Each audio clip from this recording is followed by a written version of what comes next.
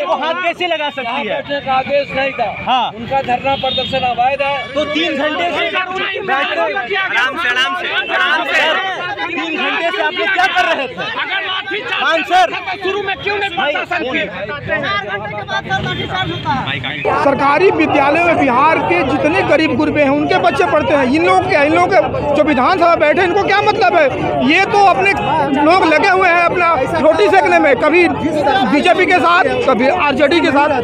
इनको ये समझ में अब नहीं आएगा। अब ये समझ में आ गया है कि ये जो पढ़े लिखे युवा है अपने हक के लिए रोड पर उतर रहे हैं। अब इनको भागने से जी नहीं बचेगा। अब तो समझिए कि हमारे राज्य के सारे जनता के जनता के दिमाग में ये बात कब जाएगी कि ये लोग अपनी रोटी सेक रहे हैं ना कि जनता के लिए काम कर क्योंकि 20 लाख रोज़गार का वादा करने के बावजूद आज आप लोग क्या आज हम लोग विधानसभा घेराव करेंगे जाएँगे वहाँ पे क्योंकि आज शीत कल शीत सत्र स्टार्ट होने वाला है वहाँ पे जाएँगे अपना बात रखेंगे। ये तो हम लोग का लगातार चार महीनों से आंदोलन चल रहा है।